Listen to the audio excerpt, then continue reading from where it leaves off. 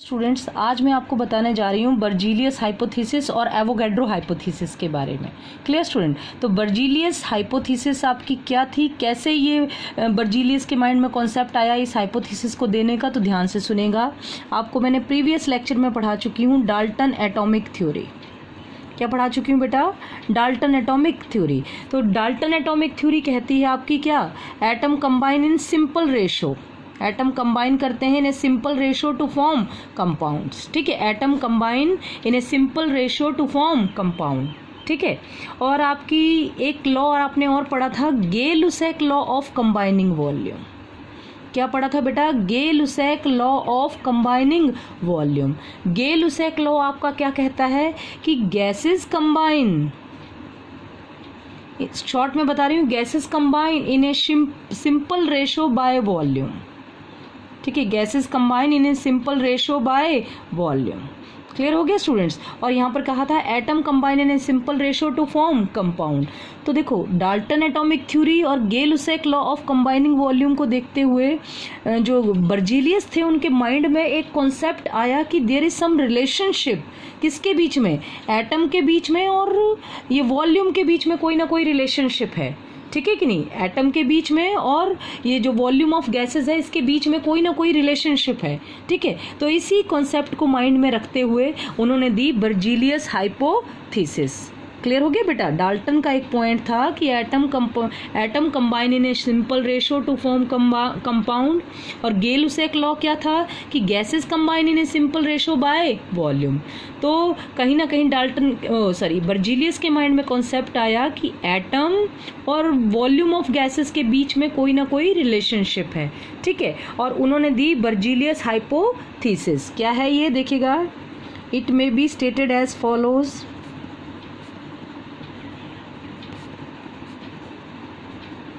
क्या कहा उन्होंने? सुन लीजिएगा बेटा। Equal volume of all gases under similar condition of temperature and pressure contain equal number of atom equal number of atoms clear student ये उन्होंने हाइपोथेसिस मीन्स एक कॉन्सेप्ट दिया उन्होंने। क्या? कि अगर आप कोई गैस लेते हैं, ठीक है कि नहीं? तो जितना उसका वॉल्यूम होगा, उतने ही उसमें क्या होंगे? नंबर ऑफ़ एटम्स ठीक है? अगर आप बोलोगे कि गैस का वॉल्यूम है टेन तो उसमें नंबर ऑफ़ एटम भी कितने होंगे? टेन आप बोलोगे गैस का वॉल्यूम है फिफ्टी एम तो उसमें नंबर ऑफ़ एटम भी कितने होंगे? फिफ्टी होंगे। अगर हम उस वॉल्यूम को मेजर करें under the same condition of temperature and pressure clear हो गया स्टूडेंट्स क्या थी बर्जीलियस हाइपोथेसिस तो जरा अब हम पढ़ते हैं, हम किसी एक कॉन्सेप्ट के ऊपर आपकी जो बर्जीलियस हाइपोथेसिस है, इसको अप्लाई करते हैं। ठीक है कि नहीं? तो हम यहाँ पर एक रिएक्शन लेके चल रहे हैं, जैसे सपोज़ करो hydrogen plus chlorine hydrogen plus chlorine combine to gives hydrogen chloride gas क्या दे रहा है ये? हाइड्रोजन क्लोराइड गैस तो हम क्या बोल रहे हैं इसमें? जरा ध्यान से देखिएगा कि वन वॉल्यूम ऑफ़ हाइड्रोजन कितना बेटा? क्या कह रहे हैं हम? One volume of hydrogen clear हम कह रहे हैं कंबाइन विद किसके साथ में? One volume of chlorine one volume of hydrogen combine with one volume of chlorine to produce two volume of hydrogen chloride gas. ये हम एक्सपेरिमेंट से डिटरमाइन कर रहे हैं। किससे?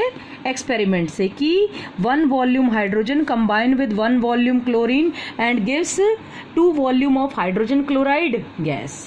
Clear students अब हम इसके ऊपर इंप्लीमेंट करेंगे कौन सी हाइपोथीसिस बर्जीलियस हाइपोथीसिस क्या कहते हैं बर्जीलियस कि equal volume contain equal number of atom equal volume contain equal number of atom तो हमने सपोज़ कर लिया। अब हमने यहाँ पर मैं लिख रही हूँ साइड में। क्या अप्लाई किया आपने? बर्जीलियस हाइपोथीसिस क्या कहती है Berzelius hypothesis equal volume contain equal number of atoms तो देखिएगा वॉल्यूम कितना है बेटा आपका यहाँ पर?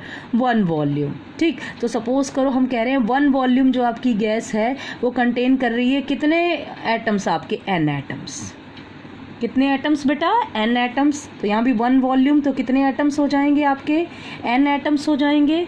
और यहाँ पर आपके टू वॉल्यूम है तो यहाँ पर क्या हो जाएँगे? टू एन यहाँ पर ये आपके कंपाउंड एटम्स बन जाएँगे। क्या बन जाएँगे? Two n compound atom clear हो गया स्टूडेंट्स अब हमने क्या किया? पूरी इक्वेशन जो है, इसको हमने टू से टू एन से डिवाइड कर दिया। क्या कर दिया? Dividing throughout throughout by two n two n से हमने इसको डिवाइड कर दिया। तो देखो, जब हम इसको टू एन से डिवाइड करेंगे n atoms divided by two n तो आपका क्या हो जाएगा बेटा? एन से एन कैंसिल हो जाएगा। ये कितने एटम्स हो जाएँगे आपके? वन बाय टू यहाँ भी आपका क्या हो जाएगा? एन को टू एन से आपने डिवाइड कर दिया। यहाँ भी टू एन को आपने किससे डिवाइड कर दिया? टू एन से। ये आपके क्या बन गए? कंपाउंड एटम्स तो देखिएगा क्या होगा आपका। ये बन जाएगा आपका हाफ़ एटम ये भी देखो एन से एन आपका कैंसिल हो गया तो ये भी क्या बन जाएगा बेटा? हाफ़ एटम यहाँ पर आपका टू एन से टू एन कैंसिल हो गया तो ये बन गया आपका वन कंपाउंड एटम अब जरा इसको आप ध्यान से देखिएगा बेटा कॉन्सेप्ट को। कितना है आपका? हाफ़ एटम हाइड्रोजन का और हाफ़ एटम क्लोरीन का, और ये देते हैं एक कंपाउंड एटम किसका? हाइड्रोजन क्लोराइड का। क्लियर हो रहा है? लेकिन आपने डाल्टन एटॉमिक थ्योरी में पढ़ा हुआ है कि atom is the smallest particle that take part in a chemical reaction atom सबसे छोटा होता है एटम से छोटा कुछ नहीं होता, और ये इंटीजर होता है। तो यहाँ देखेगा आपका एटम कितना आ रहा है? हाफ़ यहाँ भी कितना आ रहा है आपका? हाफ़ तो इट मीन्स कहीं ना कहीं आपकी जो बर्जीलस हाइपोथेसिस है, ये गलत प्रूव हो रही है। हाफ़ एटम की तो पॉसिबिलिटी ही नहीं है। क्यों? ये तो डाल्टन एटॉमिक थ्योरी कहती है कि atom is the smallest particle that take part in a chemical reaction तो हाफ़ एटम की पॉसिबिलिटी कहाँ से होगी? और ये इंटीजर है आपका। क्लियर हो गया ना स्टूडेंट तो इट मीन्स कहीं ना कहीं आपकी बर्जीलियस हाइपोथीसिस जो है, वो रॉन्ग है। ठीक है? क्योंकि हाफ़ एटम की तो एग्जिस्टेंस ही नहीं होती है। ठीक है? आपका कम से कम वन एटम आप लेके चलते हैं जो अपनी क्या दिखाता है? इंडिपेंडेंट एग्जिस्टेंस ठीक है? तो इस बेस पर फिर जो आपके साइंटिस्ट थे एवोगेड्रो उनके माइंड में उन्होंने इसके ऊपर और वर्क किया। किसने? एवोगेड्रो ने। तो फिर आपकी कौन सी हाइपोथीसिस स्टार्ट हुई बेटा? एवोगेड्रो हाइपोथीसिस ठीक है? कौन सी कॉन्सेप्ट आया आपका? एवोगेड्रो हाइपोथीसिस एवोगेड्रो ने बहुत सारा वर्क किया और उन्होंने पाया कि एटम जो है वो स्मॉलेस्ट पार्टिकल होता है किसी एलिमेंट का। एटम क्या होता है? स्मॉलेस्ट पार्टिकल होता है जो किसी रिएक्शन में टेक पार्ट करता है और उसकी इंडिपेंडेंट एग्जिस्टेंस हो भी सकती है और नहीं भी हो सकती है। ठीक है? एटम की इंडिपेंडेंट एग्जिस्टेंस हो भी सकती है और नहीं भी हो सकती है। क्लियर हो गया? और जो उन्होंने मॉलिक्यूल के केस में देखा, ठीक है? मॉलिक्यूल के केस में उन्होंने ऐसा देखा कि मॉलिक्यूल वो स्मॉलेस्ट पार्टिकल है किसी भी एलिमेंट का या कंपाउंड का जिसकी इंडिपेंडेंट एग्जिस्टेंस होती है। ठीक है एटम की इंडिपेंडेंट एग्जिस्टेंस हो भी सकती है, नहीं भी हो सकती है। और जो आपका मॉलिक्यूल है, उसकी इंडिपेंडेंट एग्जिस्टेंस होती है हमेशा हमेशा होती है। ठीक है, आपने देख लिया हाफ़ एटम हो गया तो इंडिपेंडेंट एग्जिस्टेंस नहीं रह गई उसकी। क्लियर हो गया कि नहीं बेटा? तो इसके बेस पर फिर एवोगेड्रो ने एक हाइपोथेसिस दी। क्या थी एवोगेड्रो हाइपोथेसिस ये उन्होंने दी थी 1811 में। इट वाज गिवन बाय यहाँ लिख देती हूँ। It was given by Avogadro in 1811 ठीक है? अब क्या थी इनकी हाइपोथेसिस देखिएगा दिस स्टेट्स दैट क्या कहती है ये? सेम वही आपका है equal volume equal volume of all the gases under similar condition of temperature and pressure contain equal number of molecules सिर्फ़ उन्होंने बर्जीलियस हाइपोथेसिस में एक कॉन्सेप्ट चेंज किया। एटम की जगह उन्होंने क्या ले लिया बेटा? मॉलिक्यूल वही है equal volume contain equal number of not atoms equal number of molecule इस कॉन्सेप्ट को देने वाले साइंटिस्ट कौन थे? एवोगेड्रो और कब दिया था उन्होंने ये कॉन्सेप्ट 1811 में। ठीक है, उनका कहना था कि सपोज़ करो, अगर कोई गैस जो है, मैं किस उसमें लेके चल रहा हूँ? अगर मैं गैस आपकी 20 वॉल्यूम लेके चल रही हूँ इट मीन्स उसमें कितने नंबर ऑफ़ मोल्स या नंबर ऑफ़ मॉलिक्यूल्स हैं 20 मॉलिक्यूल मैं 50 आपका 50 वॉल्यूम गैस लेके चल रही हूँ, ठीक है? तो 50 वॉल्यूम मीन्स कितने मॉलिक्यूल आपके? 50 मॉलिक्यूल्स मेरी बात समझ में आ रही है बेटा? मैं क्या कह रही हूँ? ठीक है कि नहीं? तो ये आपकी क्या है? एवोगेड्रो हाइपोथीसिस अब हम इसको जैसे मैंने इसके लिए अप्लाई करके देखा आपका बर्जीलियस हाइपोथीसिस को एक एक्सपेरिमेंट के लिए अप्लाई करके देखा सेम इसी एक्सपेरिमेंट के लिए हम दोबारा से अब एवोगेड्रो हाइपोथीसिस अप्लाई कर रहे हैं। तो आपने एक्सपेरिमेंटल देखा। आगे नेक्स्ट पेज पे बता रही हूँ, आपको देखिएगा। एक्सपेरिमेंटल आपने क्या ऑब्ज़र्व किया बेटा? ध्यान से देखिएगा। फिर से मैं वही बात बोल रही हूँ आपकी। देखो, ये आपकी हाइड्रोजन किसके साथ कंबाइन करती है आपकी? क्लोरीन के साथ। और ये आपका क्या बनाता है? हाइड्रोजन क्लोराइड क्या बनाती है बेटा? हाइड्रोजन क्लोराइड गैस क्लियर हो गया कि नहीं? हाइड्रोजन और क्लोरीन तो जरा ध्यान से देखिएगा। आपको पता है हाइड्रोजन कितना होता है? वन वॉल्यूम क्लोरीन कितना होता है? वन वॉल्यूम और आपका हाइड्रोजन क्लोराइड कितना होता है बेटा? बताइएगा। हाइड्रोजन क्लोराइड कितना देता है? ये two volume two volume hydrogen chloride ठीक है कि नहीं? ये हमने एक्सपेरिमेंटली डिटर्मिन करके ऑब्ज़र्व किया है कि हाइड्रोजन और chlorine one volume one volume ratio में कंबाइन होते हैं और देते हैं two volume hydrogen chloride gas clear students अब जरा ध्यान से मेरी बात सुनिएगा। अब हम यहाँ पर बर्जीलियस नहीं, कौन सी हाइपोथीसिस अप्लाई करेंगे? एवोगैड्रो क्या कहती है आपकी एवोगैड्रो हाइपोथीसिस एवोगेड्रो हाइपोथीसिस कहती है, बेटा equal volume contain equal number of molecule under the similar condition of temperature and pressure तो वन वॉल्यूम तो आप क्या कहोगे? सपोज़ करो वन वॉल्यूम ऑफ़ हाइड्रोजन जो है, वो आपका कंटेन कर रहा है कितने मॉलिक्यूल बेटा?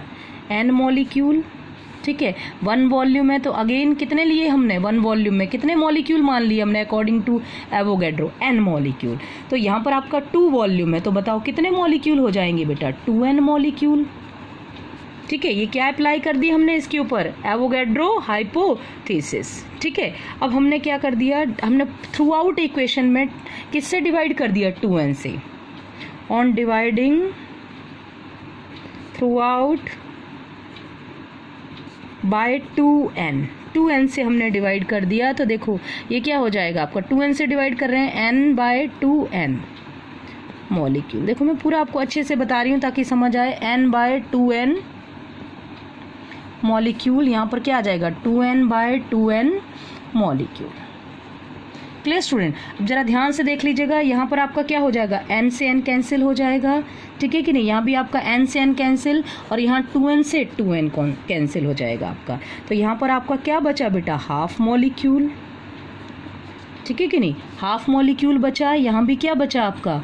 हाफ़ मॉलिक्यूल लेफ़्ट रह गया ना बेटा? और यहाँ पर आपका क्या बन गया? वन मॉलिक्यूल कंपाउंड ठीक है कि नहीं? यहाँ पे वन मॉलिक्यूल बना।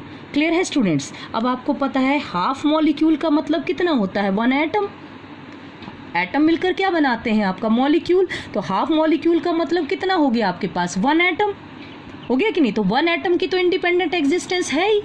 है कि नहीं? तो आपका लॉ क्या हो जाता है? प्रूव हो जाता है डाल्टन थ्योरी को फॉलो करते हुए प्रूव हो रहा है। ठीक है कि नहीं? Half molecule means how many atom one atom और वन एटम की इंडिपेंडेंट आपका जो वन एटम आप लेके चल रहे हो तो वन एटम तो आपका रिएक्शन में टेक पार्ट कर सकता है। हाफ़ एटम आपका रिएक्शन में टेक पार्ट नहीं कर सकता। तो यहाँ भी आपका half molecule means one atom clear student तो यहाँ पर आपकी प्रूफ होती है कौन सी हाइपोथीसिस एवोगेड्रो हाइपोथीसिस क्लियर हुआ स्टूडेंट्स अब मैं आपको आगे बता रही हूँ एप्लीकेशन ऑफ़ एवोगेड्रोज लॉ कि इसकी एप्लीकेशन क्या क्या है। ठीक है? और आपने ये देख लिया है कि डाल्टन एटॉमिक थ्योरी को फॉलो कर रही है एवोगेड्रो हाइपोथीसिस पता लग गया ना बेटा? Half molecule means one atom और half molecule means one atom clear हुआ कि नहीं बेटा? समझ में आ रहा है? हाफ़ मॉलिक्यूल ले लो हाइड्रोजन का मीन्स उसमें कितने एटम है? One atom half molecule of chlorine का ले लो मीन्स वन एटम और atom is the smallest particle that take part in a chemical reaction तो मीन्स हम एवोगेड्रो हाइपोथेसिस को प्रूव कर रहे हैं किसकी? डाल्टन थ्योरी को लेते हुए. ठीक है? समझ में आया बेटा कि नहीं? अब जरा आप एप्लीकेशन देख लीजिएगा किसकी? एवोगेड्रो लॉ की.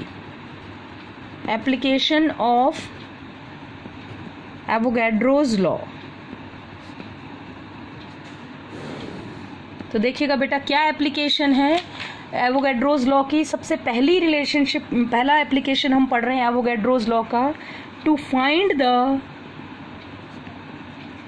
to find the relationship relationship between molecular mass molecular mass and vapour density of a gas. ध्यान से सुनिएगा बेटा। हमने रिलेशनशिप फाइंड आउट करना है। एवोगेड्रोज लॉ की हेल्प से किसके बीच में? मॉलिकुलर मास और vapour density of a gas के बीच में। क्लियर हो गया स्टूडेंट्स तो जरा मैं आपको प्रूव करके दिखा रही हूँ कि कैसे एवोगेड्रोज लॉ यहाँ पर आपको हेल्प करता है इन दोनों के बीच रिलेशनशिप फाइंड आउट करने में। तो सबसे पहले मैं आपके पास फॉर्मूला लिख रही हूँ, vapour density of a gas. क्या लिखा बेटा मैंने? Vapour density of a gas clear student formula होता है किसी भी गैस की वेपर डेंसिटी निकालने का। Density of the gas divided by density of hydrogen ठीक है? गैस की डेंसिटी को हाइड्रोजन की डेंसिटी से आप डिवाइड करेंगे तो आपकी आ जाएगी vapour density of a gas clear student अब आपको पता है डेंसिटी आपकी होती है मास अपॉन वॉल्यूम क्या होती है डेंसिटी बेटा?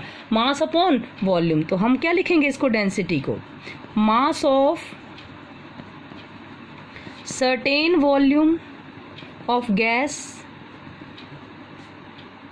देखो बेटा, एक चीज़ और, ये कंडीशन कौन सी पर लेके चलते हैं आप? एसटीपी पर, ठीक है? तो mass of certain volume of gas at किस पर बेटा? एस पर। स्टैंडर्ड टेम्परेचर एंड प्रेशर की कंडीशन होती है इसके लिए, ठीक है? और डेंसिटी ऑफ़ हाइड्रोजन की आप क्या लिखेंगे? मास ऑफ़ जो वॉल्यूम आपने गैस का लिया है, वही वॉल्यूम आप किसका रखेंगे? हाइड्रोजन का। तो आप बोलोगे mass of same volume of hydrogen at volume of hydrogen at S T standard temperature and pressure clear हो गया बेटा? ये डेंसिटी हो गई आपकी। कौन सी कंडीशन पर? स्टैंडर्ड टेम्परेचर एंड प्रेशर की कंडीशन पर। क्लियर हो गया कि नहीं? अब देखिएगा, ये क्या है आपकी? Vapour density of a gas clear student अब आपको, देखो, यहीं अब आपका इंप्लीमेंट हो गया कौन सी थीसिस एवोगेड्रो हाइपोथीसिस क्या कहती है Avogadro hypothesis equal volume contain equal number of क्या? Molecule under same condition of temperature and pressure clear तो यहाँ पर जो आप वॉल्यूम ले रहे हैं वॉल्यूम की जगह क्या ले सकते हैं बेटा आप? मॉलिक्यूल ले सकते हैं ना? Equal volume contain equal number of molecule तो आप क्या लिख दोगे इसको? मास ऑफ़ वॉल्यूम की जगह क्या ले लेंगे? सपोज़ करो जो वॉल्यूम लिया है उसमें एन मॉलिक्यूल है। तो mass of n molecule of gas हो गया कि नहीं? नीचे आ जाएगा क्या आपका? Mass of n molecule of कौन सी गैस के? N molecule of hydrogen gas. Clear बेटा? ये यहाँ पे लिख दिया मैंने वेपर डेंसिटी ऑफ़ गैस। और यहाँ पर आपकी एवोगेड्रो लॉ भी लगा दिया ताकि आपको समझ में आ जाए कि कहाँ इम्प्लीमेंट किया है। एवोगेड्रोज लॉ क्या कहता है? Equal volume contain equal number of molecule. ठीक है कि नहीं? तो वॉल्यूम की जगह आपने क्या ले लिए? मॉलिक्यूल सपोज़ करो कितने जो वॉल्यूम आपने लिया है उसमें एन मॉलिक्यूल है। तो मैंने, क्या हो गया ये वॉल्यूम की जगह? Mass of n molecule of gas upon mass of n molecule of hydrogen gas clear हो गया बेटा? अब जरा ध्यान से सुनिएगा बेटा। यहाँ पर मैं लिखती जा रही हूँ vapour density of gas is equal to यहाँ पर ऊपर मैंने वही लिख दिया आपका मास ऑफ़ ध्यान से सुनो। अगर मैंने दोनों जगह आपका क्या बोलते हैं एन से डिवाइड कर दिया। यहाँ ऊपर भी और नीचे भी। तो यह आ जाएगा mass of one molecule of gas ठीक है कि नहीं? एन से मैंने डिवाइड कर दिया दोनों जगह। तो नीचे भी आपका क्या हो जाएगा? Mass of one molecule of hydrogen gas condition वही है बेटा बार बार अब बार बार नहीं लिख रही हूँ। किस पर? एट एस टी पी पर। That is at standard temperature and pressure की कंडीशन पर। ठीक है? अब यहाँ पर लिख रहे हैं mass of one molecule of gas as it is मैं लिख रही हूँ। Mass of one molecule of gas अब आप सबने सुना है कि वन मॉलिक्यूल ऑफ़ हाइड्रोजन में, ये एच टू है। तो एक मॉलिक्यूल में कितने एटम होते हैं बेटा? दो। पता है ना आपको? एक मॉलिक्यूल ऑफ़ एच टू में हाइड्रोजन के कितने एटम होते हैं? दिख रहा है आपको? टू एटम होते हैं। ठीक है? तो मैं इसको कैसे लिख सकती हूँ? देखो, कितने एटम्स होते हैं बेटा? टू तो मैं यहाँ लिखूँगी two into mass of one atom of hydrogen mass of one atom of hydrogen ठीक है? या तो आप दो एटम मान लो हाइड्रोजन के। ठीक है ना दो एटम मान लो, या एक मॉलिक्यूल मान लो। बात एक ही होगी ना? तो one molecule of hydrogen gas की जगह लिख दिया मैंने two into mass of two से मल्टीप्लाई है तो कितना हो जाएगा? Mass of two atom of hydrogen कोई दिक्कत नहीं है ना बेटा? क्या फॉर्मूला हो गया आपका? Vapour density of gas clear student अब यहाँ पर एक फॉर्मूला देख लीजिएगा, क्या होता है? मास ऑफ़ क्या लिख रही हूँ मैं आपका mass of one molecule of gas mass of one molecule of gas divided by mass of one atom of hydrogen mass of one atom of hydrogen ये आपका इक्वल टू होता है बेटा, ध्यान से सुन लीजिएगा मोलर मास किसके इक्वल होता है? मोलर मास ये क्वांटिटी आपकी ध्यान से देखिएगा ये।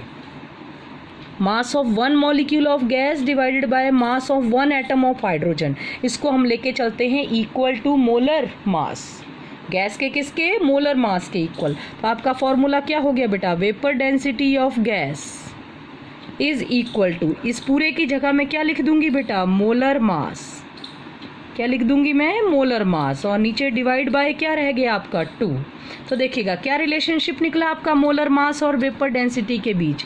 आप रिलेशनशिप बोलेंगे molecular mass equal to two को इधर ले जाएँगे तो equal to two into vapour density of gas clear हो गया स्टूडेंट तो आपने एक रिलेशनशिप ड्राइव कर दिया। किसके बीच में? मोलर मास और वेपर डेंसिटी ऑफ़ गैस के बीच में। आगे बेटा, जब हम इम्पेरिकल फार्मूला और मोलिकुलर फार्मूला के न्यूमेरिकल करेंगे तो ये फार्मूला आपको बहुत हेल्प करता है वहाँ पर, ठीक है? मोलिकुलर मास क्या हो गया बेटा? Two into vapour density of gas thank you students